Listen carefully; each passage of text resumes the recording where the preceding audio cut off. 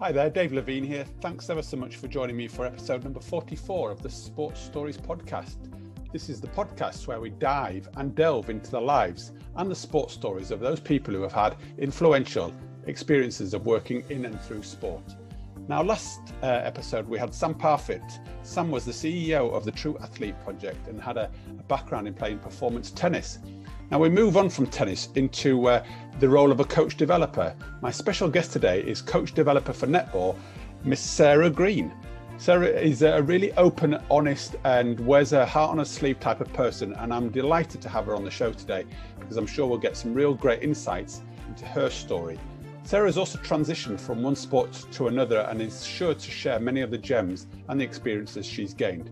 So, as usual, please sit back if that's what you do, go off on your bike, go for a run, but get into the place where you can really maximize the opportunities that you'll gain from hearing Sarah's story. Whether you're a parent, a teacher, a coach, or crucially a leader, you'll gain something from today's episode. Please leave a review. Any comments, any feedback that you've got is always really appreciated. But crucially, it's great to hear some of the stories and the successes you get from listening in. So, all it leaves me today is to wish a really, really warm welcome to my very special guest, performance coach developer for netball, Miss Sarah Green. Sarah, it's really great to have you with me on the Sports Stories podcast.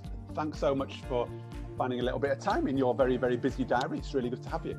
I, am going to start because you won't know this, but I was talking to a previous podcast guest of mine, uh, Nathan Wood, who works at Cricket, and he said, I was just chatting to him. and He said, um, uh, "Do you know Sarah Green?" And I said, "Yeah, I do know her." She goes, "Why did you ask her to come on the podcast? She would be great." So you know, you've been recommended to come on here. So welcome. Thanks for giving up your time, and um, you know, thanks to Nathan for sort of recommending and introducing you as well. So, how are you before we get going? It's really important for me just to check in. How are you doing? Yeah, I'm okay, thanks. Um, that's nice to hear. I've, I've met Nathan, our new performance director is from cricket, so he kind okay. of like connected us. So that's how um, we kind of met. But um, yeah, I'm good. Like the sun's shining today, so that's nice. It's been a bit of a struggle to get outside for the past couple of days because it's been freezing. But um, yeah, I'm I'm good, thank you. You know, just for the listeners, do you want to just give us a bit of a sense of you know how did you first get into sport and what was your introduction to it back in the early days?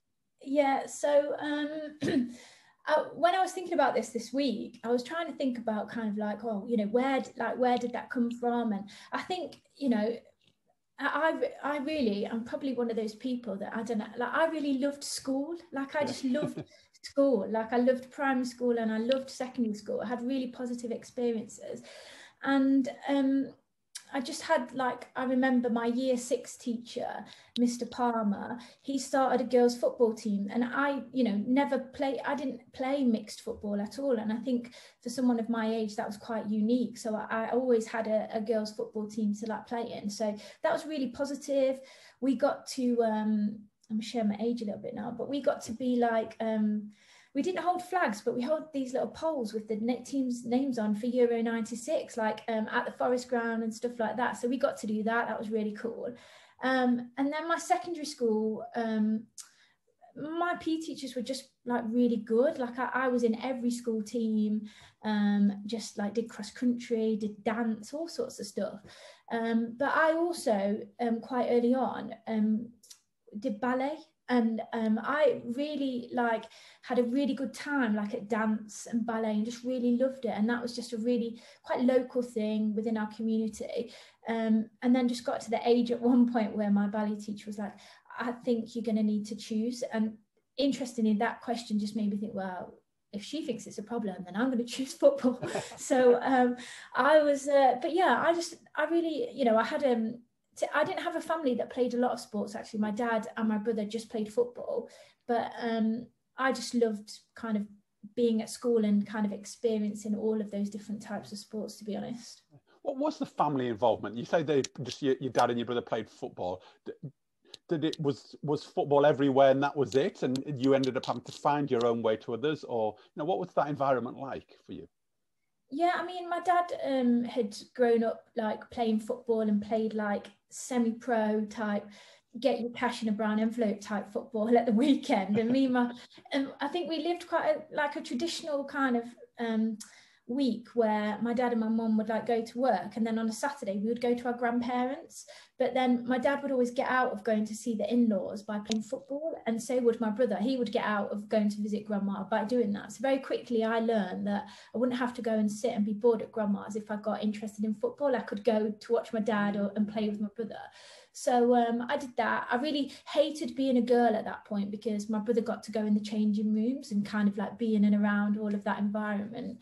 Um, but yeah, and my brother was really good at football. So my brother um, went through the academy system, um, played for Notts County, um, and that brought a lot of opportunities for me because um, we would go to summer camps together and we would experience all that kind of stuff. And we would be able to kind of enjoy that and you know my mum was involved in education so we would do quite a lot of summer camps and things like that so yeah it was um, football was there and i was quite fortunate i guess at school because I did get to experience other sports, but I probably never got to have an experience of being part of other clubs. So it was always like football was probably going to be the only club that I um, got into, which I don't regret because it, it's given me like a really good life. But I do wonder like what would have happened if I'd maybe had a bit more of a diverse choice, to be honest.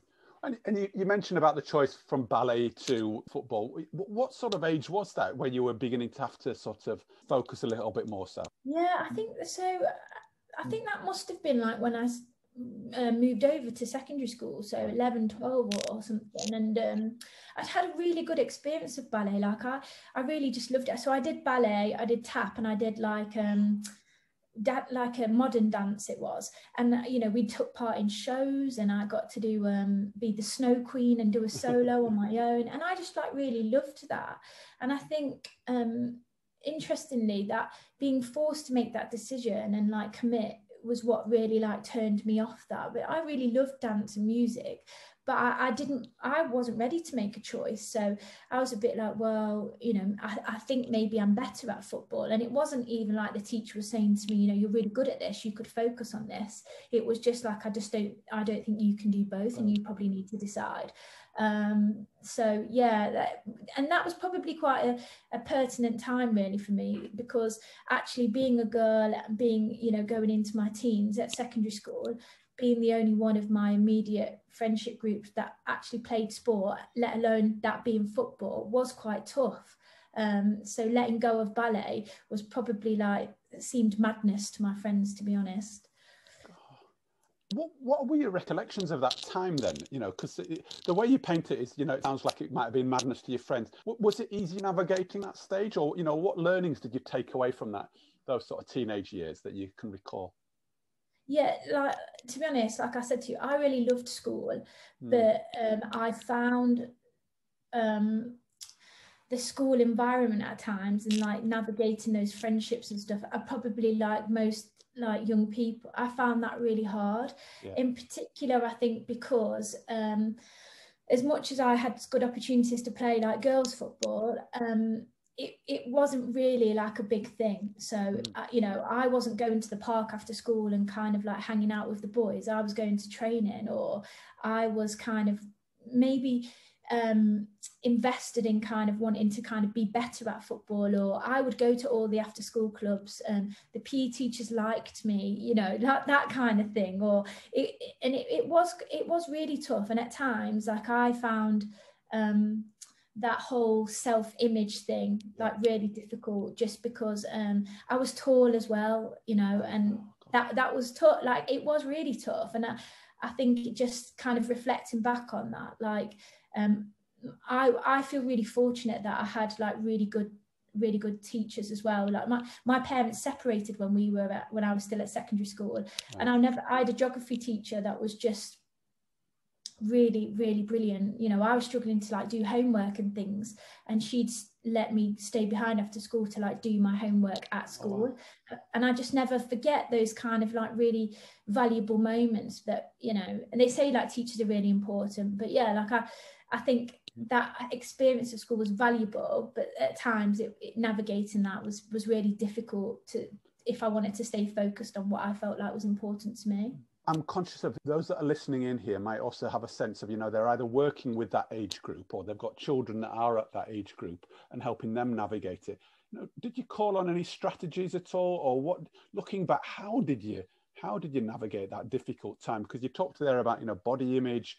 You know, I'm also thinking here, you know, you were a, a girl in a, in a, sport that wasn't traditionally a female sport or, you know, it was quite new coming through there. It was, you're kind of groundbreaking in many ways, weren't you, quite early on? You know, and I'm just wondering, how did, how did you manage that? Yeah, to, to be honest, I don't think I really uh, I don't think I really managed it in, in in the sense of kind of did I find that emotionally and mentally like quite tough? Like yeah, like at times my my inner voice, like my self talk, was was really difficult. And many years back, actually, um, I found a, a lot of my um, diaries from when I was oh, a, wow. a, young and it, it, and it was it was just really sad and a lot of stuff that i'd written in there was stuff like um, i wasn't sure whether i was um, like normal like for my age i was asking myself questions where i was like is this what a girl of my age should be doing mm-hmm. and i think and that to me like reflecting back on that i'm just like oh that's so sad like that was so sad that mm. i was unsure about prioritizing kind of like what made me happy but the thing which maybe doesn't make sense was I think there was still like as much as I was being quite negative and reflecting on that, like there was still something within me that knew I, I did want to do it and I did want to, you know, because it made me happy. Like, and I knew that I was actually quite good at football. So um, going to training and being around those people and being successful, and I could feel a sense of success um, still kept driving me forward. I think when I remember back to some of the moments which made me feel secure, um, was just the coaches and the, and the teachers at my school that told me or made that you know I was doing well or or created a space for me to be like it's okay you know and and they kept me feeling like I could come back. I, I you know I, I really remember how I felt in those environments and that was you know I felt happy I felt safe and I, I felt like I could succeed reflecting back when whenever you started making sense of some of this stuff did you know it then or did you just do what you did um, do you think no, um, to, to be honest, um, I um, I think the latter year. So I was kind of like um, much much you know coming towards the end of school actually like 16 17 when my parents kind of like formally separated like right. divorced. Um, and i found that really i just found that really hard. Oh, um, and i think it you know it was just the sense of kind of like um just what does that mean you know? It, and it was never about kind of like oh is this our fault or anything like that. It was just kind of like you know what what does this mean now? And kind of like um, i think just understanding kind of how you will be supported in from two different people in two different spaces um, and actually like um, i think i lived with a lot of kind of that upset and anger and stuff for a very long time. And it wasn't until much later, like 2008, where I decided that the best thing for me to do would be to talk to someone about it. So, um, and I've actually been, I think maybe on three or four different occasions, um, been to uh, a counselling, so to see a, a counsellor. And I think uh, to be fair, I was talking to someone about this this week because I know people have different opinions of it. Like some people prefer to talk to their friends, some people prefer to talk to a stranger, whatever. For me, it was really important actually that I could talk to someone who didn't know me mm. and really could have no not no opinion, but um, didn't really matter kind of the dynamics of any of the relationships and stuff. Um, I went to see a couple of councils actually councillors actually that, that, were terrible that were really like just really terrible like made um made suggestions to me that I was just a bit like well no like why would I want to do that or really didn't seek to understand and the last counsellor that I saw um was absolutely one of the best best people that I've ever spoken to because I think I'd probably matured a little bit, and I went in there and I said, um, "This is what I need from you. So this is what I need." And I said, "Like this is the type of person that I am, and I need you to help me to understand how I can be making progress because the problem is I feel like I'm stuck. I need to understand why I feel like this, and I need to see that I'm getting better." And um, what was interesting about that was um, she really listened to me and actually what we discovered was I knew how to help myself. Mm. I just needed to hear it, you know, and uh, like she just, you know, so much happened during that period. So it was during that period actually that I was seeing that that last counsellor that I actually changed jobs. When I started going, I was going like every other week, and then sometimes it gets a bit much to have those conversations. So we like, you know, spaced mm-hmm. it out a bit. One day I'd gone back to her and she's like, How have things been? I'm like, Yeah, I've handed in my notice actually. like, I'm going to be leaving. And she was like, What? So, so um, but I just found, particularly that latter, that latter experience, um, just just so useful for me to try to understand maybe why I was behaving in some way. So let's just say like some behavior patterns that I'd established and I needed to break them down and kind of, you know, look at them. Um, I needed to understand that I could help myself and I was very capable of doing that. And I needed to appreciate how self-aware I had become and uh, you know and and embrace that really because I hadn't I hadn't you know I'd learned how to be very self-aware but I I used to just almost be quite shy about the not own that and be like yeah i know myself well and i know that i feel angry today or i know that i feel upset. And i just i didn't own that. I wasn't proud of it when actually that's a really valuable skill. So um, that experience for me was just you know a really really valuable one that's helped me grow. And i think it's helped me be a better person and and, and definitely better at, at my job what what keeps coming back to me, you know, at a high level, is kind of nearly pivotal moments. You know, in terms of actually your parents' separation and the pivotal moment that that created for you, but also then actually finding the right person to talk to and how that's become a pivotal moment and how you've really captured that. You know, and I just think, mm-hmm. and and also, you know, what also really strikes me is that the, the connection between you know the the job that you now do in terms of helping people which we'll come to even more so but you know how your journey has really kind of influenced who you are and what you do. I, I don't know that's what i i hear. Mm. you, you, mentioned about your parents being working in education and you know you've told me about the kind of learning journey that you've been on. Where did you go kind of after school and then you went into your work job? And uh, you also mentioned you you left the fa but how did that all fall out? And tell us a little bit about that journey yeah, so to be honest, I've probably never really spoken like out so out loud about this actually. um, so I stayed at school. Um, uh, so I did A levels at school, and that felt very like safe for me. Like that just felt like the right thing for me to do. And I, I wanted to, you know, probably because I loved school so much. So I was like, why wouldn't I stay at school a bit longer? Um, but then yeah, that that period was quite tough. So that's when kind of my parents were separating and stuff. And I think obviously things were tough for them. So um, and you know we weren't particularly kind of like well off. And actually my parents were really young when they had me, um, so they were still quite young. And I was never really like talked to or spoken to or think about going to university. Um, I got offered a scholarship to America, and that turned that down because financially it wasn't like viable it wasn't you know and it, that was really disappointing but actually i was probably still going for a period in my mind where i was like i don't know if i can move away from home and just do that at such a young age um, so I, I went to college and did a um, HND in like um, sports coaching, I think it was. And then I got offered um, a place at a women's football academy.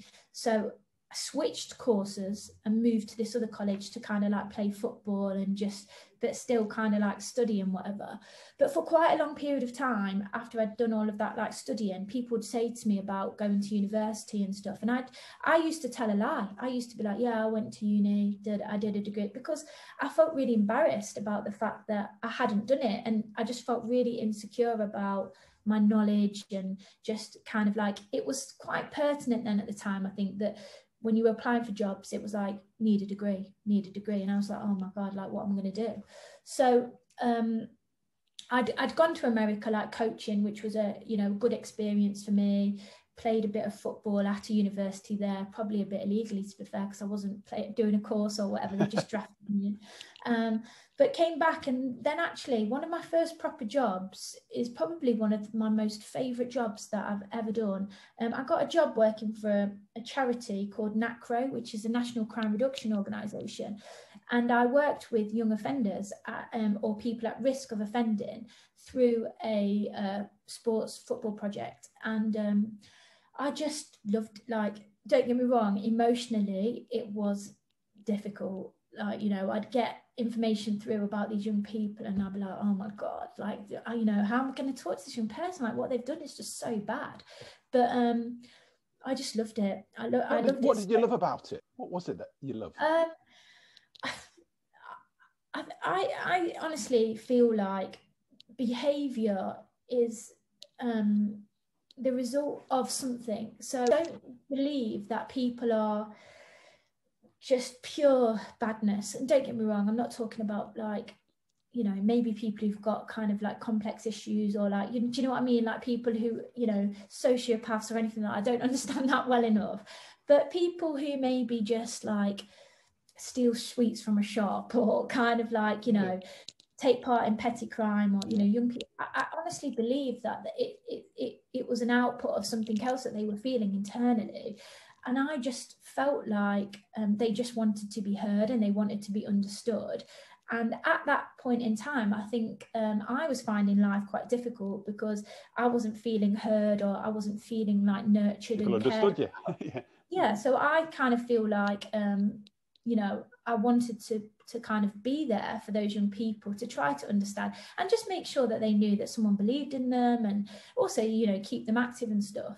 Um, I just so I really like really loved that, and it was only just I think I got to the point where I was wanting to invest more in um, my I, I was very firmly stuck on the idea then that um, I had a, a, very fixed route of a career path, which was I would work at a county FA, and then I would eventually get a job at the FA, and, and that's really what I had in my mind. And this job at NACRO, like in football was like my, my first kind of step. You opened the door. Yeah.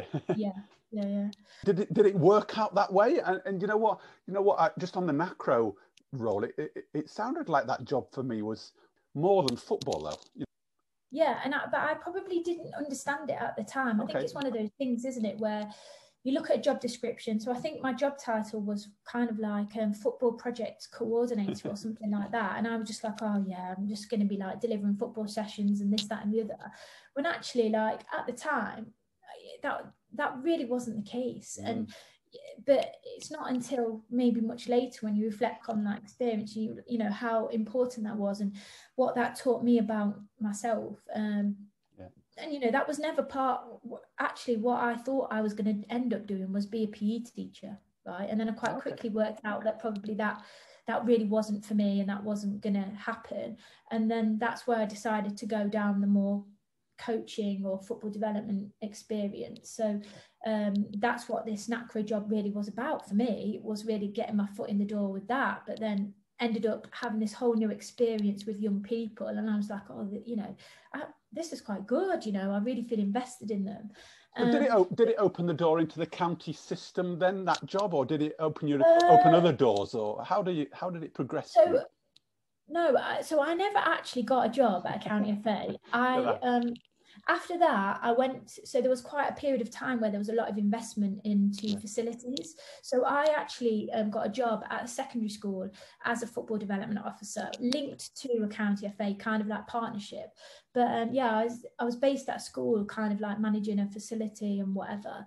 Um, and like i loved that job and i got an but i think it, it kind of naturally like satisfies the a curiosity which I didn't know I had, which was linked to education. Um, that was really important to me, but I didn't really realize it. You know, I, I wouldn't have probably taken that a role that advertised in that way. So, Sarah, what was your curiosity about education in that school setting? Because you know you flirted around school a lot, and you've got really fond memories, haven't you, of schools? So, I guess yeah. is is that the basis of it, or or what was the basis of your curiosity there? I don't know. I think so my mom um, was a nursery manager, so right. she managed um, nurseries um, all you know all of her working life. After me and my brother went off to school, she was you know a nursery nurse. Um, she worked for Ofsted, ex- inspecting nurseries a- after that. So we would have a, quite a lot of experiences um, in school holidays, in and around kind of that nursery environment. And then, in, in fact, like when I was much older, I um, my mum was working at a nursery, and in the summer holidays, I would work as a nursery assistant with yeah. the holiday group and things like that. So I was always around kind of that and then obviously had that experience of being coached and being taught you know so that was always um, and i just loved kind of like kids and you know like just playing and kind of being interacting with them and stuff so yeah that i never really realized how much um, that played a part in in my career but then from that secondary school position that fdo position um, that's when the FA's Tesco Skills program started, and I got a job there, and it was quite a legendary type, um, big deal. Trevor Brooking's kind of big idea of how to improve football and skills for the five to 11s, and um, anyone who was anyone, any coach that I knew in and around the football circuit, like that, that was the place to go, and um, I was fortunate enough to get one of those positions. Yeah, and it felt so spe- you know like it felt so special like so um got this job uh, tesco skills just I, I, I went in as a skills coach and um i was actually got a job offered in leicestershire. So i live in nottingham i got a job offered in leicestershire. So that was you know not ideal, but it was kind of like, listen. And at, at, that point, though, I would have been, I was in that thing where I'd like, if they'd have said to me, Sarah, we can only offer you a pound a week, I would have been like, yeah, fine. Do it for free. I was, just, I was just like, listen, I will do whatever I need to do. But um, yeah, and I was kind of just, I felt so lucky, and I, I just felt like um, I could was just learning every single day. Um, and then I got so many opportunities. So the skills program was really quite revolutionary in the fact that it was very forward thinking, not being about displacing teachers. So we were involved in a lot of projects that was about upskilling teachers, really understanding like lesson planning and just so I got involved in I was part um, part of the education group for the skills program and chaired that group. We're linking with other bodies like AFPI and all of that. And I just I was thinking like this is brilliant. Um, and then I, became, I got promoted to be a team leader, so I was managing a team of skills coaches. And you know, like we were involved in national projects where, or, or national meetings with the whole of FA education, where we just, you know, away days, and we get to see different coaches work, or we'd be seeing the national teams work, and you were just like, this is brilliant. It's like constant CPD all the time. You, you mentioned a bit earlier though the idea about you know I was so lucky and and I just pick up your energy and passion for you know the, the job and I can see why you wanted to do it even you know back then. But I'm also sat here thinking you know were you lucky or did you make your own luck? You know in terms of how you've navigated your way in there and then opened doors and maximized opportunities. You know if we just dig a little bit deeper than the yeah. the luck. Yeah, what's your I thought? Mean, yeah, to be honest, um, I spent an awful lot of time prior to kind of getting that job at the FA um, volunteering. I, I made it my business to be where I thought I could learn the most. So um, I could, I, I would volunteer at like different events. I would support the Notts FA with different stuff. I was involved in this like um, football group that was about the Coalfield Regenerations Trust, I think. And I was like getting the bus there, or because I couldn't drive at the time. And I, I just kind of like, you know, made it my business to kind of learn from the people who I thought not could like um, make things happen for me, but would be like oh yeah i know sarah like and she's pretty good like she she's she kind of you know she makes it her business to kind of be better and and i just wanted people to kind of know me so it was kind of you know if something comes up we're like oh, actually i know someone who might be interested in that or do a good job.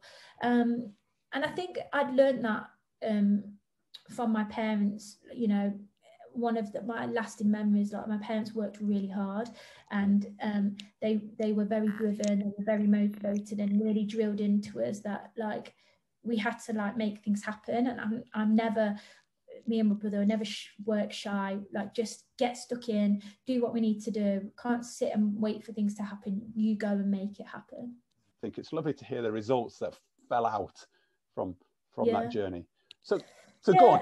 What, what, what happened in the FA then? You know, you you, you got in there. Um, you know, you were on your journey around football at, at this stage. So how, how's how did you progress with your your footballing career and your coaching career from there? Yeah, I mean, so interestingly, I'd been coaching at like um, girls' centres of excellence and stuff okay. prior to starting at the FA, and actually had started my A license before I started working at the FA. But I didn't. I'd done the first two weeks of it because it was very old. It was a bit old school then. Like you did two weeks at Lilleshall, then you went back the following year.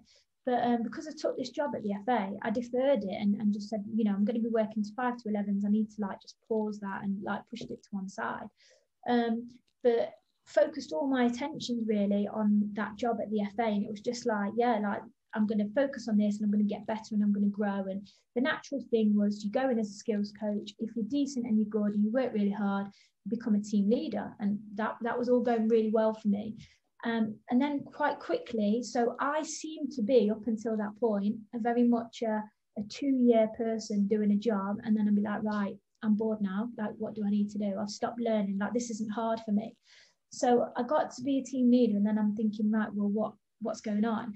And then there was a bit of like a restructure, reshuffle, teams growing and stuff, and I actually became what now is very stupid, but a, a super team leader, which meant that I was um, managing teams in more than one county. So that was good because uh, I took part in some more recruitment, managing people a bit further away from me. What does that look like?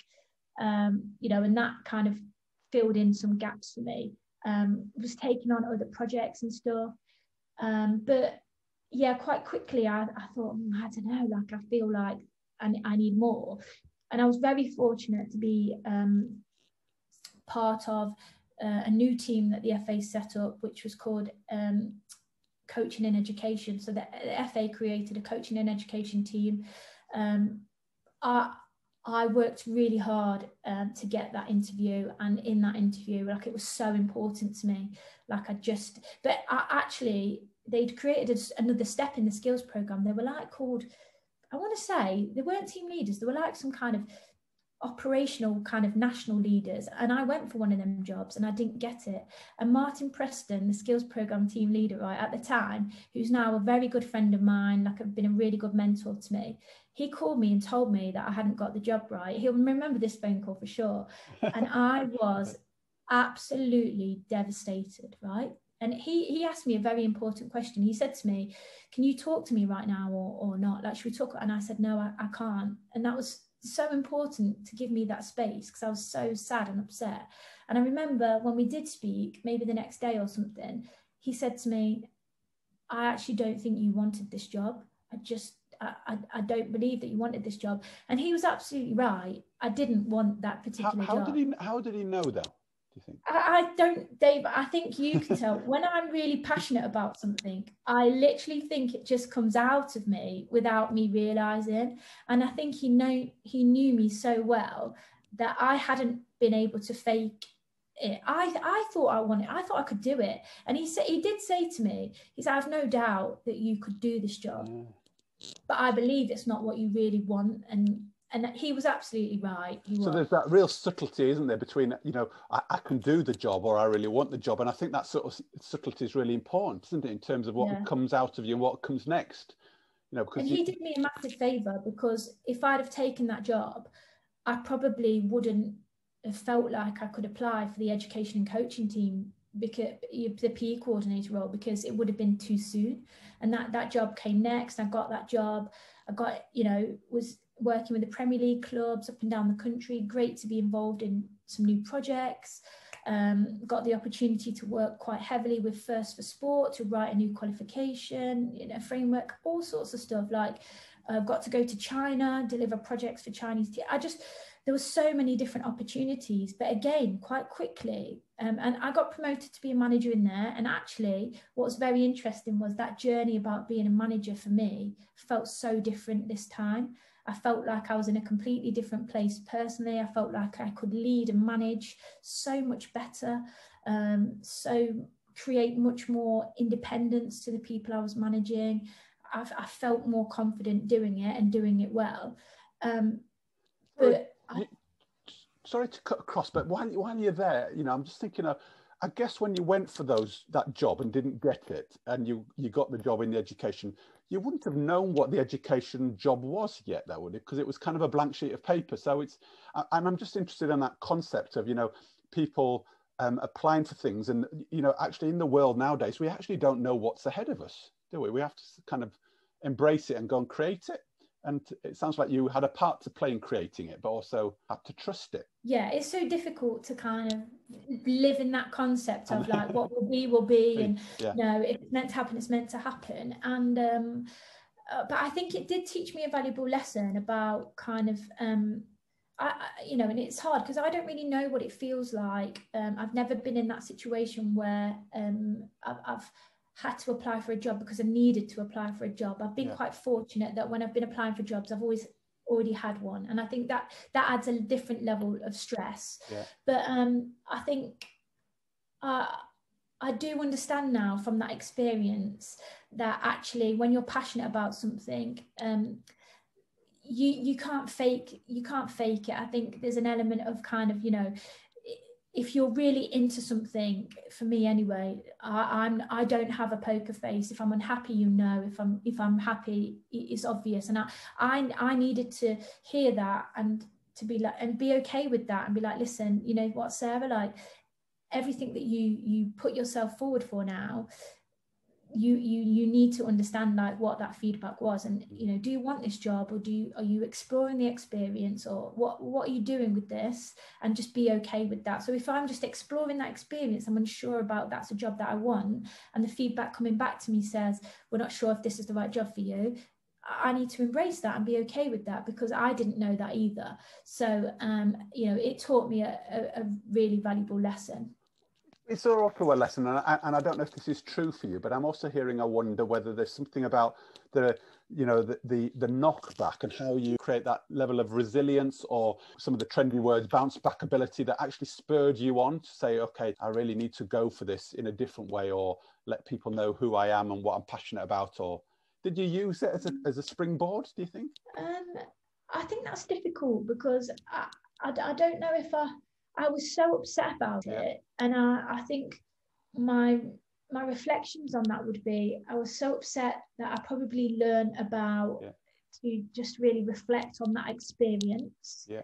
And I probably had already developed a good level of resilience through yeah. life at that point anyway. Um, it didn't no, you know, no experience that I've had, and I can't tell you like where I've learned this from or whatever. Nothing that I've had, experience that I've had, has stopped me from going in the direction that I want to get to. Okay. Like, I, I, no one or nothing will tell me that it's not that I can't do it. You know, that doesn't. I, I just want to find different experiences and, and have different experiences and be like, listen, if, if that's the way I think I need to be going, I will keep going in that direction. You know, that's not going to stop me. I think what it probably did do well, I, I learned very quickly about um, i probably needed to use my network better. I think up until that point i'd been a bit more self-reliant in you know independent. I'd not spoken to anyone about whether i thought that was the right job for me. Um, and i've had mixed experiences with that to be honest. I've probably had experiences where i've I've spoken to people too much and I've taken on mm-hmm. board their opinions and they've not I've not you know I should have trusted myself I've probably spoken to no one and probably could have done with having a critical friend in those experiences. And I think it kind of it helped me think about you know that and, and using other people to to reflect on in those situations. But um, just the you know having that opportunity and that interview and, and using that to kick forward into that next space for me that PE coordinator role and then you know continuing my journey on at the FA um, but I think what was really pertinent for me was I, I kept moving forward at the FA, and I think one of my one of the most memorable experiences I had, we we worked with a lady called Liz, and she came in to do some stuff around line manager training. You know, really lovely, just very good, like very good to me. We had a lot of really good conversations, and I remember saying to her like, um, if I left the FA, um, I just wanted people to know that I was a nice person and I was kind and that I was okay at my job. And I didn't necessarily care if people thought that I was the most experienced football person yeah. or, you know, that I had, I knew about the game or I, I didn't want to, that wasn't important to me. But I hadn't really I'd gone through all of my football coaching career, you know, doing my B license, whatever, going to football clubs where people would say to me, Oh, so are you an A license coach then? Like, what do you know? And I, so I'd got confused and I felt that like that was really important. But then she told, she spoke to me about this and she's like, What do you want to be remembered for? And I said, I, I want to be kind. I want people to think I'm nice and I, I want to kind of be good at my job. So we did this exercise. I remember it's December, in the December, and um, people had to write on a sheet about you. Go around the room, right? And people wrote on my sheet. And when I took it home at the end of the day, it was just stuff like bit passionate, nice person, you know, great team, and all this. And I just thought, and you know what, Dave, there was something in me at that moment, and I thought to myself, it's time to go now. Not not like my job. I wasn't particularly happy, but I thought to myself, I think it's I think I can go. I think I can. It kind of gave me permission to explore going. And um, then just by chance, the January, I saw a job on Twitter. Someone had shared it, retweeted it, and I thought, you know, I've, I've been playing netball for a few years. I, I, let's have a look at this. Um, it was a coach developer role that really attracted me because it was pure coach development. Got in touch with the the person and just said, look, you know, are you looking for someone from netball? Because I, I don't have that, but I think I can do everything else. She was like, no, like would really welcome your application. Went through a, a really difficult period then because I was like, do I leave? Do I not leave? And if I'm someone, I can't even remember who this was, but someone said to me, why don't you just go to that interview and work out if that is a place that you would want to work? And I thought, what a great what a great bit of advice that is. I don't even know if I want to work there. So they can. I'm, it's almost like I was interviewing, interviewing them. Well. them. It flipped it around. Yeah. I thought, I thought, well, yeah. So I went in there and I thought, I'm not bothered. I've already got a job, so I just want to know if this is somewhere that I would like to work. And it was a bit difficult because it's one of them ones where they have you all in together in the morning. And I was like, oh God, you know. but it was fine. I knew what I needed to do in order to kind of um, be myself. I was comfortable that I didn't need to be the shouting, the screaming, or that. I could just be myself. So did you so, tell yourself that before you went? You know, you've done a lot of work on yourself in terms of thinking this through. And I'm wondering, did you consciously go and say, come on, just be yourself? Or, you know, but you're also kind of, um, you know the idea of i'm going to use the word competitive with yourself you know you want to be successful here and therefore yeah. the idea of do i be myself which will help me be successful or do i try and be what they want to be successful i think i had no idea what they wanted right. at all and I, I think i'd probably got you know so what are we talking about now this is maybe like 18 months ago yeah. and i think i'd got to the point where i was like um if they don't want me it's not a reflection on me. me. I'm just not what they wanted. So I, I felt quite secure in that I could just be myself. And if it wasn't what they wanted, it's not not the place for me. So I went in there and um, you know, I've always been, you know, obviously having a career, coaching career in football, always been one of the only females in a coaching course. Um, used to it. On this interview day, only female it wasn't you know i was used to that it didn't scare me and i thought to myself i know i've got enough about me to have a good conversation with these other people that i don't need to be that purposeful disagreeer just to stand out. I'm just going to be myself and see what happens. So i got through to the afternoon and i won't ever forget this experience either. One of the best things that told me that this was going to be a good place for me to work is the performance director at the time said to me, one of the questions towards the end was, um, can we just ask you, like, how do you maintain a positive self image throughout your work? And I thought, what a great question, you know, and like, what a great question for an employer to ask an employee and to show that that is potentially important to them that you know they're considered and i just I said, I said that to them. I was like, well, what a great question. And I was very comfortable at that point about where I was in my life. So I said, yeah, I'm, I'm going to be honest. Like, I, I found that difficult at times, but I'm also not afraid to ask for help. So I've been to counselling a few times and da da da da. da. And I thought to myself, well, if they're going to be like, oh no, Sarah's like Pinter counselling, you know, we're not sure about that, you know, that's up to them. But I knew that I was honest about who I was and the experiences that I've had, um, and I just left it there, whatever. So um, I got offered the job, and those days after that were difficult because I purposefully created quite a lot of opportunities for them to say to me, that's not going to work. So it was stuff like uh, the car, money, stuff. And I was just like pushed back a bit because I, I was scared to leave. I was really scared to leave the FA. And what, what and, were you what were you scared about? You know, you, you've mentioned uh, that a couple of times the, the difficulty, and I know swapping jobs is difficult, but what what was it? Do you think that was really? Uh, my identity. I I was worried that. Um, you know, being involved in a footballing community, any sporting community, whether you've grown up coaching tennis or being involved in tennis, you know, the football community, like people knew me, you know, Sarah Green, she's from football, she coaches football.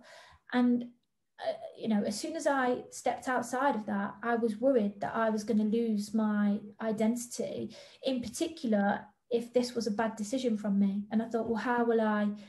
how will I go back to that world? Like, what, you know, what if I make a mistake and, you know, will I be taken seriously? I'm going to lose my credibility. All of this stuff was just going through my mind. Sarah, did you um, go through all that stuff on your own? You know, how did you work through that period of time? Because loads of people listening to this will be going, this is really similar to me, changing identity, changing roles, those discussions. So, how did you manage that time for you? Um, I spoke to a few people. So, I had a few uh, colleagues that had worked at the FA and left actually. And um, but that was hard because they were saying to me, just leave, like the grass is greener, you'll be brilliant, did it? And I found that really hard because I'm like, is that your actual thought or is that because you've left? Like this might not work out for me. Um, I used uh, a few neutral people. So um, Liz, who I'd spoken about previously, I called her and she basically just said to me, one of her questions was, um, do you believe that you can do this job and do it really well? And I said, yeah, I do. And she said, okay, well, you know, and uh, she just believed that everything that I was telling her was that I, I thought I could do it. And um, I, yeah, so I, it was difficult because I found it difficult and I, to talk to people who had already left because some of those had had bad experiences on that exit and all of that.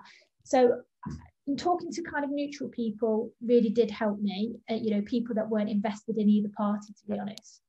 Um, but yeah so eventually kind of I, I, made the decision. It was difficult. It was difficult to tell uh, my colleagues actually my colleagues were absolutely brilliant. I remember we had a meeting and i'd sat down with two of them and i said um, i've got an interview.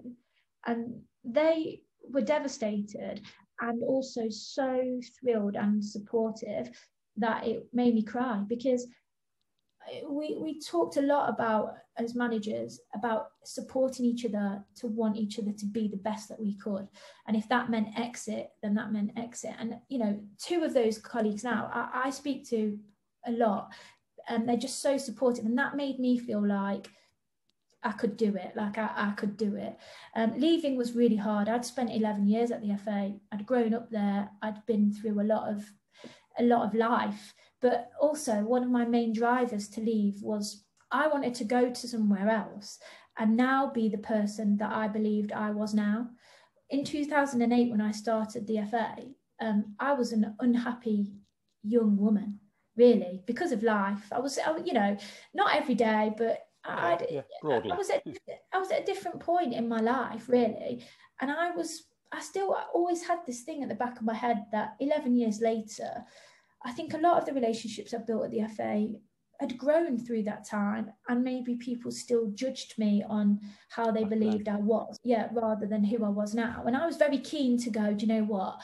I'm going to go to netball and I I, I just want to be the Sarah Green who I, I think I am now. That was so so important to me that I could start again and and and also have an impact in a different space. You give me goosebumps by you talking because it's quite that's massive stuff, isn't it? You know, kind of re, not just changing your identity, but nearly starting again or reinventing yourself or giving yourself permission to go and be you rather than um, Sarah Green f- football. It's this is now yeah. Sarah Green, isn't it? And and actually Sarah Green for what she brings.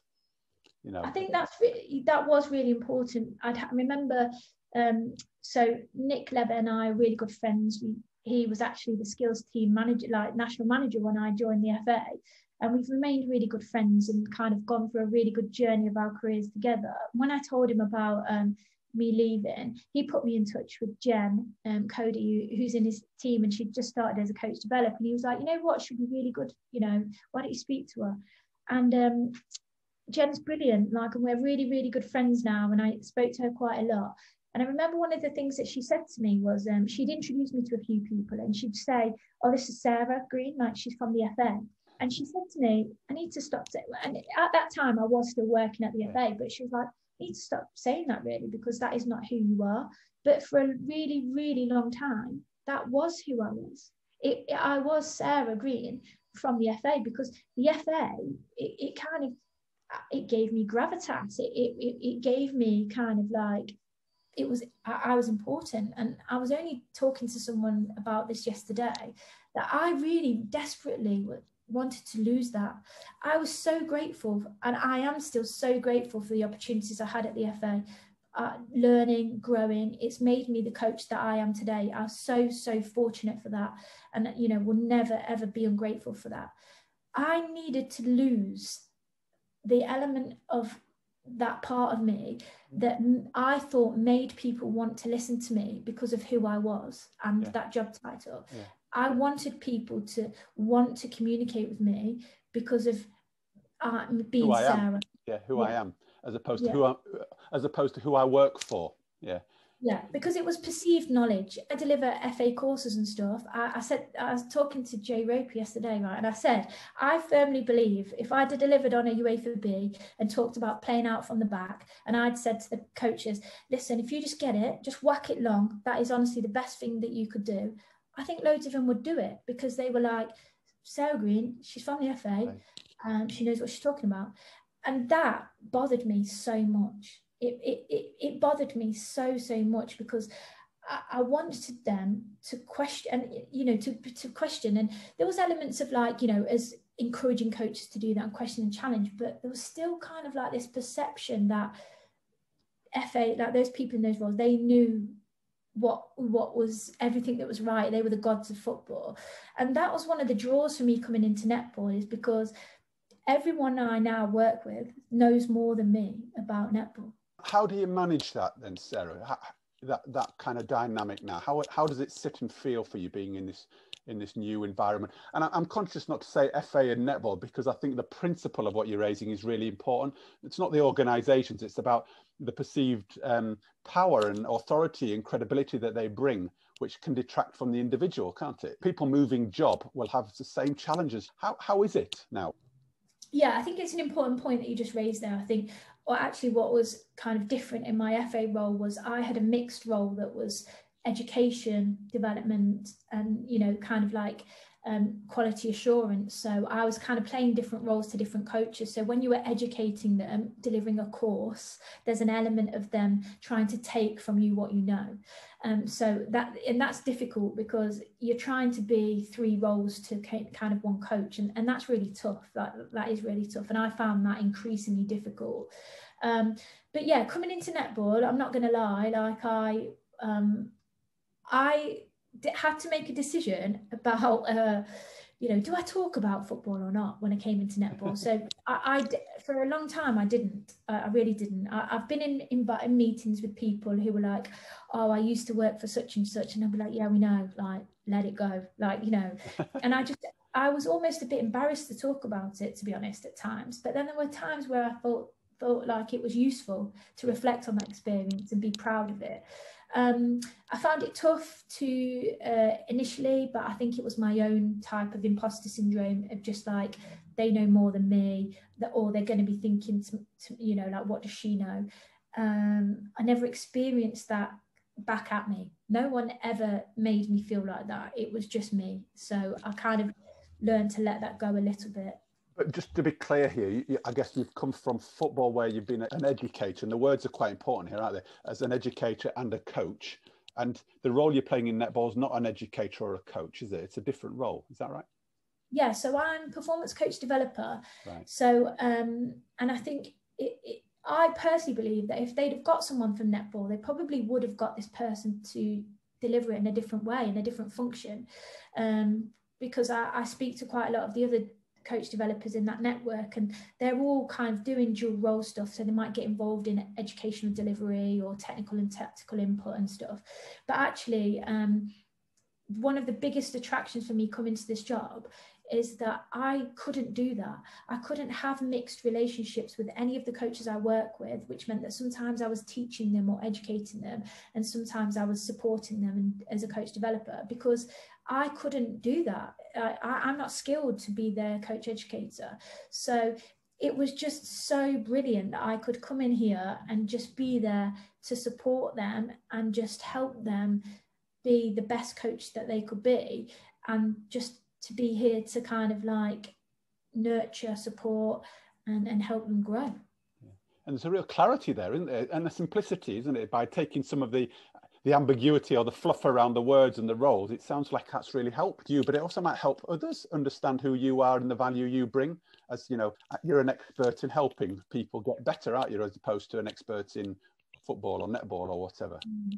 Well, that's interesting. One of the first meetings I had with Andy, Andy Bradshaw, right, he said to me um, something about what what our function was, right? And he said, you know, aren't you there to kind of like help people get better? And I said, no, I don't like that. I don't like that phrase. Like I'm not there to kind of like help people get better. Like I just feel like that felt um like I they needed me or you know and I but then you know in its most simplest form like you are but those words felt didn't didn't sit right with me and I'm like I'm just here to kind of like help them grow and I preferred those kind of like words yeah. to kind of be there to be that support system but um you know like when I was reflecting on this transition like don't get me wrong um I've got a lot of things wrong you know i I've, I've got a lot of things wrong in this transition i um i didn't allow myself enough time to almost and i don't want to seem dramatic here but to grieve really to kind yeah. of to kind of grieve for the, the for the, that routine and that experience that, that you know what was um i just I just went from one to the other. I had a, a little bit of a break after the FA, and then I went to Kenya actually, which was brilliant, and, and building schools and stuff. Had a really good experience with that.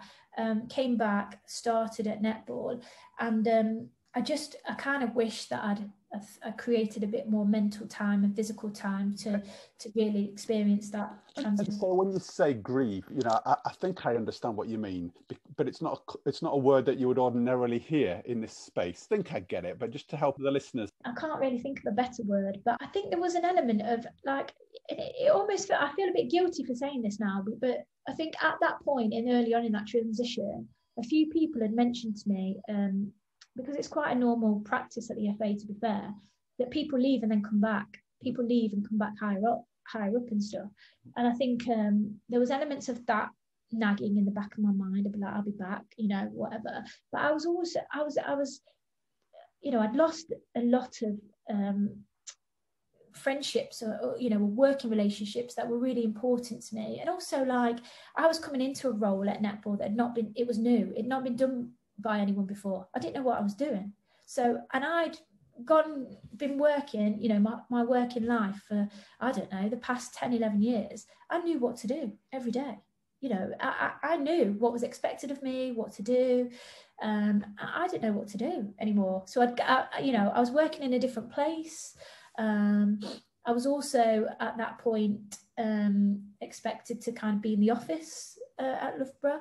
Um, I'd not experienced that for 10 years either, being in an office really. So I was just like kind of just trying to let go of something yeah. and parts of that i didn't want to let go of yeah. and I, I, found that like that really like really really tough but there was um a process i went through and to be honest um, our performance director at the time um, was like brilliant with me. Um, I found things quite difficult early on. I came back from Kenya and actually was pretty poorly for like a few months. And so um, starting this job, we had the World Cup and I was kind of like making my way around, you know, and all of this. And she was just like, look, Sarah, like just try to understand what your job is, work out what you think you should be doing, and let's just go from there. And she was very supportive. Um, I would say quite quickly, maybe six months in, uh, you know, keep in touch with some of my old FA colleagues and or speaking to other friends and stuff, speaking to coach developers I've met. Um, I honestly, and I can sit here and say this now, I can't ever, ever see myself going back to working in that kind of football environment solely like that. Um, I don't think I realised how much I'd missed out on um, by being in a broader sporting um, network. You know, as soon as I stepped outside of the FA, I realised how big the other coaching world was because I think the rest of the governing bodies, the rest of the sporting world is is much much more connected, whereas um, maybe I'd just been in roles, uh, the department I was working in, I don't know. Um, we just spoke to football, um, and even though that football world was big, uh, it it kind of on reflection made me feel like we'd kept it quite close. Like I wasn't getting a lot of new experiences or new interactions. Came into netball a lot smaller. We rely on networking with other people, and I'm just like, where are all these people come from? Like I never knew all these people existed. And like they've been so important for me um, and my understanding of my role and shared experiences and um, just you know that support in this environment. And weirdly now, weirdly, I was part of a meeting the other week um, with the FA. So a uh, a pathway meeting. Yeah. Me, people from rugby, the FA, you know, sharing experiences, talking about kind of, you know, doing a bit of a, a, scoping out exercise to support the FA about how, you know, how they might be looking at their pathways. And I'm like, what a strange turn of events. Like this is, in the, but in the sense of like, great to see how valuable it is for yeah. different sports to be talking about their pathway. And, you know, I, I hadn't, I, I, firmly believe that there was two things that ha- went wrong for me at the FA. I forgot to dream. I forgot to dream bigger because I thought that I'd hit my dream. I, I, I peaked too soon, and I forgot. Once I got there, I forgot to dream bigger, and um, by doing that, I just became a bit blindsided to to looking what else was out there, and um, you know hadn't. I, I probably closed myself off I feel like the last 18 months I've had more experiences just than maybe I did for a lot of the time that I was working in the FA. Blindsided and dream bigger, you know, those kind of two massive concepts. And I wonder whether we can even speed those revelations up in our life or whether it's a, a matter of circumstance, you know, that we go on the journey and these things kind of fall out when the time's right. Who knows? But it just sounds like you're in a, a fabulous place. It feels like the blinkers have come off, you know, and I, and I love the idea of optimism and dreaming because I think if we can all do that, imagine what we could achieve, hey? Yeah, and I think that's a really interesting kind of the wood for the trees. Um, one of, uh, Martin, I mentioned kind of uh, earlier, one of my mentors, he had this whole he used to talk to me uh, when I was a manager. I had oh, a lot of young manager had a lot of different difficult experiences managing people, and he used to give me this metaphor about um, Center Parcs. And he used to say to me, sometimes, you know, when you're in the middle and you can't see, all the trees are on the outside and you just can't see the way. And he's like, but that doesn't mean that there's not a way. It just means that at the moment you you can't see that. And and there was a lot of times where I felt like that was so true. Like I knew there was a way out and I didn't know the way. And I got so stressed because I didn't know the way. And he was like, it doesn't matter. It's like when people say, you know, when one door closes, another one opens. He's like, well, it might do, but there also might be like five doors and you're not sure which one to take, and and, and that's okay. And um, I, you know, I think I I've said this quite a lot over the past six six or seven weeks. People have asked me a question about, you know, um, what what would you do differently, or like what would you say to younger self about this, that, and the other. And I, I just honestly wish that I'd felt better about just being myself. And I think that's kind of coming from coaching experiences. I've been told quite early on that um, I needed to be louder you know if i was going to be taken seriously as a coach i needed to be louder i needed to be a bit firmer and all this um, and I lost the sense of like who I was, and I felt very under pressure about being someone, and and and actually at times became a bit miserable and a bit aggressive in my language or a bit blunt because I, I was trying to be someone that felt very uncomfortable. That was a stretch for me, and I, I lost who that was. Um, and at times, I, I wish that I'd been I wish that I'd been braver to to be to be myself, but been braver to to kind of push myself a little bit further sooner but um, do I think I would have left? The, do I think I should have left the FA sooner? Yeah, uh, but there wasn't an opportunity for me to do that. So I'm, like I say, I'm very grateful for that experience I had. All of those experiences have made me who I am today, and I, I'm I'm so grateful for that because I think I'm in a better. And I don't think could it have been accelerated? Yeah, probably, but um, I've I've still got a lot a lot to learn and i think i'm i'm learning so much more now being in this environment because it is a stretch. It's a continuous stretch for me. Like every day i don't know as much as anyone else. So that and that feels really good. It feels good to to to be in a continuous state of stretch for me. Mm.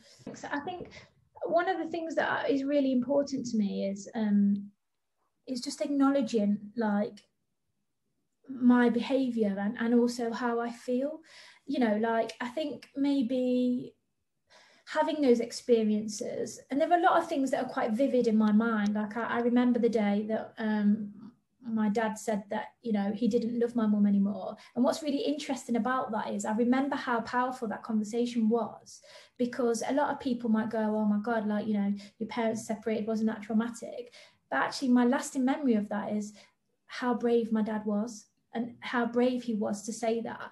And to me that that's really important. And then there's been a lot of moments after that you know and the conversations that i've had with different people winter counseling is like it's really important to me that i acknowledge like when i'm happy sad frustrated because i need to understand what gets me to that point. And you know i'm not saying that i deal with all of that perfectly but i also feel like um, it's helped me be better and more in tune to supporting other people because um, I think I, you know, ultimately what lies at helping anyone in whatever environment is understanding them and their motivations and being attuned to kind of like what makes them happy, what makes them sad, you know, and I think I, I'm I'm good at that with myself and I want to try to kind of show that that's important to me and that's what helps me kind of um, or drives me and i'm not saying that you know everyone needs to kind of jump on board and like be like oh yeah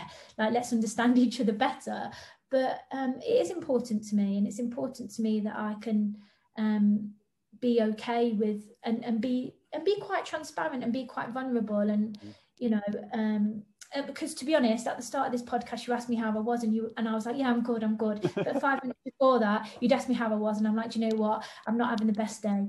But actually, I knew that, and I, I acknowledged that, and I, I, didn't feel great this morning. But um, actually, through the process of kind of like recording this, I I feel a lot better, and I think part of that is because um, it's really helpful to me to verbalize um, my thoughts and feelings. And also, when I verbalize that and when I say things out loud, part of what I've done today is kind of talk about that journey that I've been on. Um, and I'm okay with saying that actually I'm quite proud of where I am today mm. because um, a lot of those experiences have been quite difficult, have been uh, tough. And yeah, like one of the bravest things I've ever done is leave something that I was really happy at a place of work that I was really happy at, that I was really good at, to come to a place that I didn't know if I could do the job and if I would be taken seriously. Um, and so I'm really, I, I am really, really proud of that. And that's taken, that's taken a long time to get to and to move towards that that point of being, you know what, I'm okay with who I am. I'm proud of, you know, where I am today. So what also drops out for me is, you know, I, I, can really see why you do the job you do. You know, the journey you've gone on in terms of your self-discovery and that awareness gathering uh, along the way, but but also in terms of, you know, and I want to draw this a little bit because you work in a performance environment.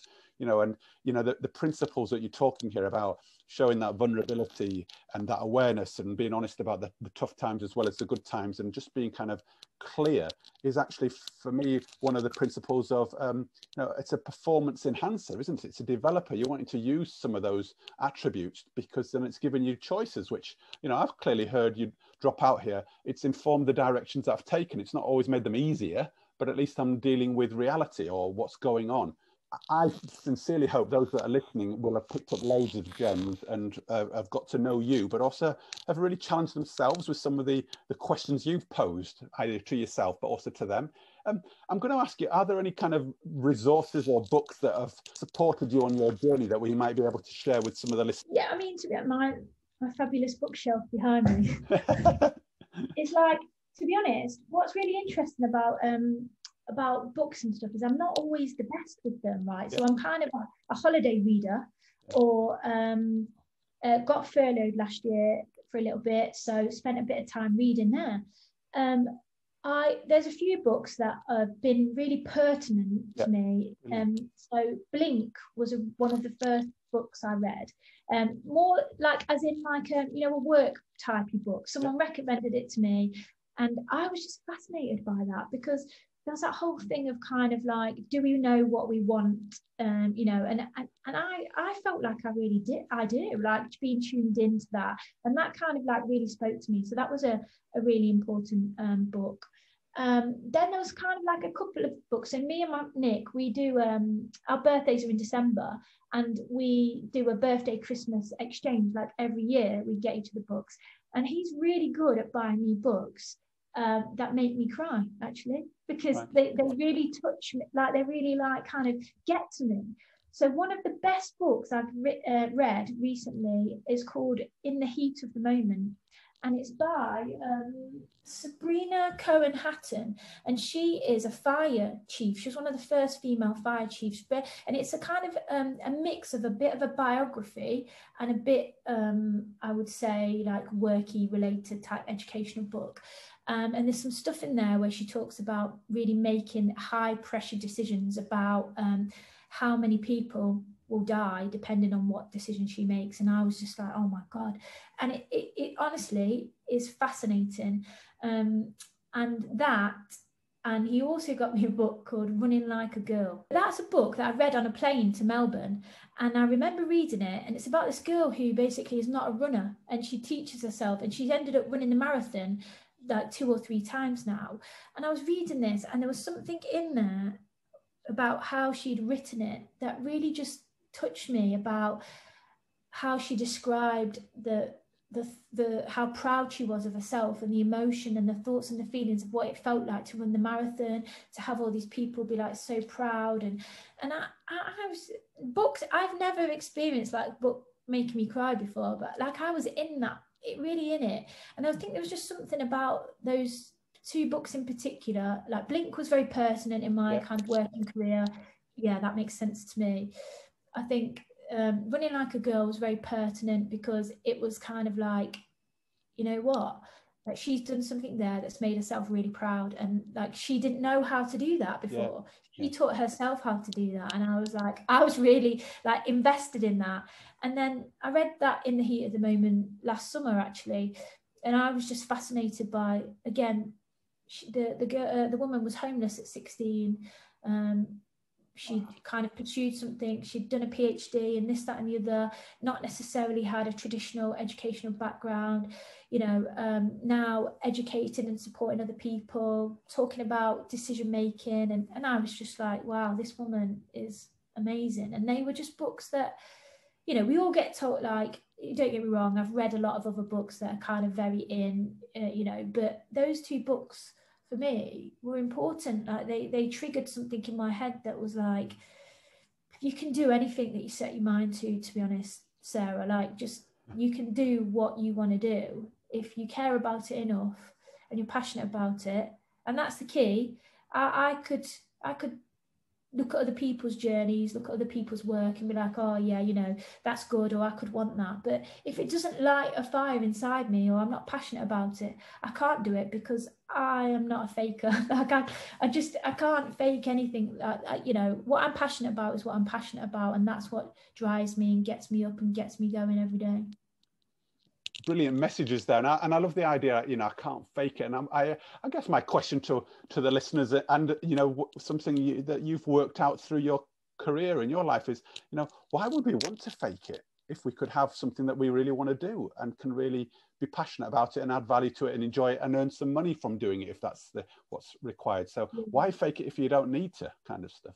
I've got a couple more questions, and the next one would be for me again. You know, you've talked a lot about how you've turned up into the world and the transitions that you've been through. How do you prepare yourself on a daily basis, both sort of mentally and physically? Yeah, so some of them are really simple, like yeah. um, muting WhatsApp groups, okay. um, putting my putting my phone on do not disturb. Um, so sometimes I find WhatsApp groups really overwhelming. Um, yeah. I'm very um, I'm a very responsive person, I think. So I th- like when emails come in, I can be triggered by that and want because I can be a bit um, people pleaserish. So I can be like, oh, that that deserves a response and it deserves a response now.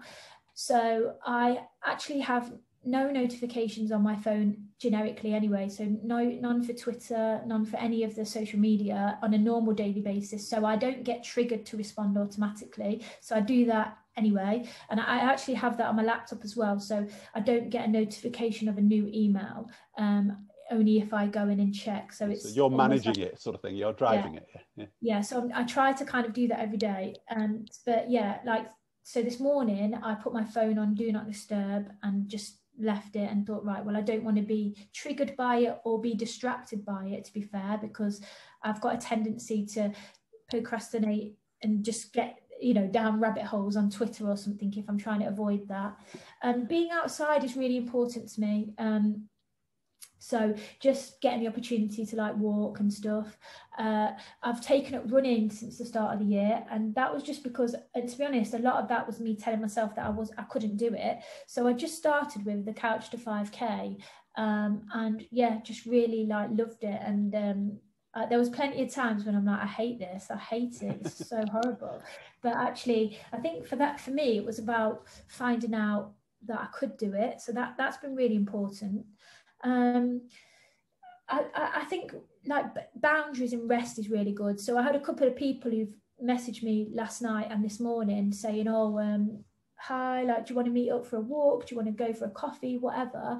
And um, I, I would really, I really would love to. And they're pe- they're not like people that you know would zap my energy or anything, but actually, um, if I did that today, I'd be squeezing them in, and I might be missing something out myself. So i it takes i'm not great at it all the time but when i feel like you know i'm not having a good day i think I, I have to kind of say to myself sarah is this the best thing for you today? Is it is it fair to them that you're going to squeeze them in? Is it fair for yourself? Um, so i try to kind of be be okay with that and be like right listen keep your boundaries keep them safe keep you know prioritize self. Um, so yeah just just normal things, mm. really. Two more questions. You mentioned a little bit about, um, you know, a younger version of yourself when we spoke, uh, you know, a little bit earlier in the in the podcast. What, what kind of two or three principles would you give to people coming through and saying, you know, how to live a kind of a high performance or a happy, successful life? What would be the two or three key words or principles would you share? Do you think? Yeah, I mean, this it's an interesting one. This because I think do you remember last year, like Marcus Rashford, um, he wrote a letter to himself. I think his younger self or something, and um, I, I so I actually did that, that, I think he, he wrote a letter to himself um, really quite young because he yeah. was only young anyway, when he was like seven or something. But I wrote a letter to myself um, and I just picked a, a, really pertinent time in my year. And I actually wrote a letter to myself when I was like 23 or something. Okay. And I, I kind of just reflected back on um, how I thought I was feeling at that time and, you know, tried to kind of almost say, it'll be all right, you, you know. And I think for me, um, I think there's some stuff in there about um, being okay with not necessarily having a goal like having that kind of goal or dream and stuff like that. Because there are times you know like i used to say to people i don't know what i want. I don't know. The only thing i've ever been really firm on ever about my goals was like i thought I want, well i said i wanted to work at the fa and then buying a house. And I, you know so and, and i knew that and i was very clear. Like i couldn't tell you now what i thought i'll be doing in the next year or then you know i don't particularly have a career goal. And i think that's one of the things that i've tried to do is um, be present. So i think we can chase things forward and not enjoy where we are. And i've definitely spent a lot of time doing that. So i think in terms of you know be okay with not having a plan. So therefore be present and enjoy every moment and every experience. And that's a very important thing to me that i talk about coaches in terms of giving athletes really good experiences and in turn enjoying their coaching and that experience. Um, because we go from session to session day to day to day. People say live for the weekend it's monday again. Like i think we just need to be be present and, and be okay with that. And you know like i say i think we it's it's really hard it's really hard because my younger self i don't know if she would still listen to me but i think just be okay with uh, but i think young people have got it a bit harder now because of social media and this that and the other but i also think that young people are fascinating to me like they're so much more open and so much more um, kind of flexible with life and who they are and prepared to talk and share about that and i think that's something to be admired and something to be praised and i think um, yeah just be okay with who you are and just enjoy the moment. It's not okay. You don't. No one needs to have a life plan of one, three, and five years. Like you don't. you don't need it. Um, last question. You've been so um, open and capturing in your honesty and your awareness of your journey, the highs and lows, as, I, as I've mentioned, um, and, and shared your story. Whose sports story, or you know, somebody in and around the sport world, would you be curious to find out more about, and why? yeah you know what this is it's it's quite difficult really i mean i think um from a um just a, a, a person kind of like perspective like and just some of the experience that i'd had with him like um i am a big number one fan of gareth southgate I, I just think for me he epitomizes what it is to be a great person and a great coach. And um, there's a lot of, I, I, was really fortunate to spend a, a, a, bit of time with him working with the, the 21s and, um, yeah. you know, keep in touch with him. And um, he's, he's done some stuff with the Roses um, for us. But I think he epitomizes like being a good person, mm. valuing the team. The language that he uses is is about the team. It's not his team.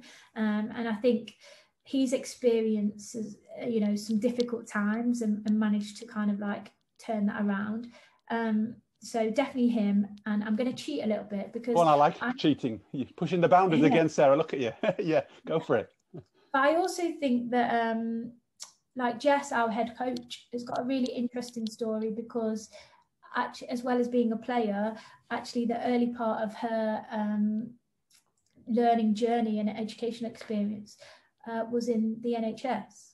Um, you know, and I think that's kind of where we talk about the roles that people have had. That, that they're not too far away from kind of like helping people yeah, and yeah. you're being around that nurturing and empathetic type um, roles and I think you know that's really um, that's really interesting and fascinating to me. Thank you so much. now should some of the listeners be interested, how, how could they contact or find out a little bit more? Uh, I guess the best place is Twitter. So yeah, I think that for me, that's probably the best place. I, I kind of am pretty good at kind of sharing like what's going off on there. Um, so yeah, Twitter's probably the best place. Brilliant. It's been great to have you on, and, and, I look forward to having you on again in the future. Okay, so that's hopefully I can tie you down to doing that because I, I, know the next stage of the journey sounds like it's going to be uh, pretty impressive. And Sarah, thanks very much. Really enjoyed it yeah, thanks. Thanks. The chat was good. It's a, it's a very cathartic chat today for me, actually. So thank you. Brilliant. All right. Take care, and we'll see you again soon. So there we have it, the 44th episode of the Sports Stories podcast, and what a great episode it was. It was a real heartfelt, open, powerful story from Sarah today, which really gave a lot of her personality away. Yes, there was a few little glitches uh, in the audio, but for me, I hope that didn't detract from the journey that she's been on, the messages that she provided. And clearly, she's had a, a real journey through uh, professional discovery, but also a real self discovery in terms of actually the awareness she's gained, the uh, insights that she's had, and how um, she's really reflected on her learnings and experiences to inform where she goes next. Now, two or three things that came up for me was the importance of asking for help. She really uh, labored that in some ways and showed the value of talking to friends and colleagues and respected others for various things in her career, whether it was during her change of jobs or whether she was looking for a little bit of guidance or assistance. She went to a counsellor at times, but she also relied on really close friends and colleagues.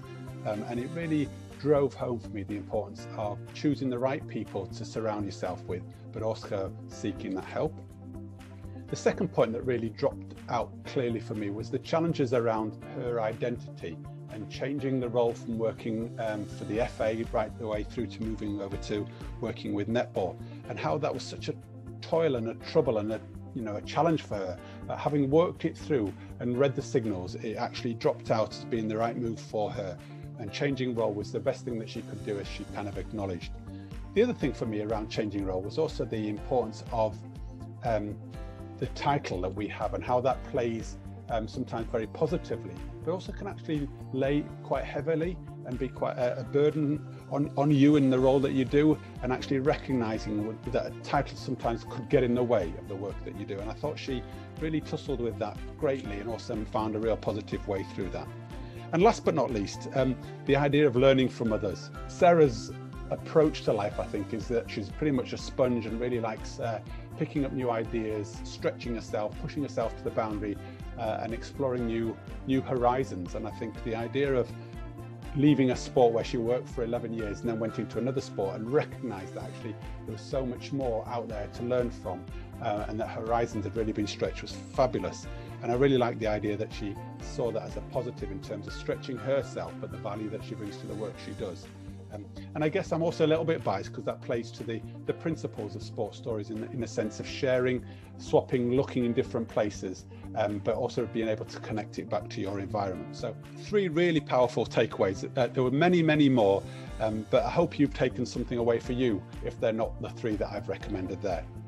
And as always, I'd like to pose a couple of questions to you, which really came through for me during listening to Sarah's story. The first question would be How does your job title help or hinder you, as well as who you think or believe you are? And the second question What are you really proud of doing or saying in the last few years and why? What does this say about you and what does it give you?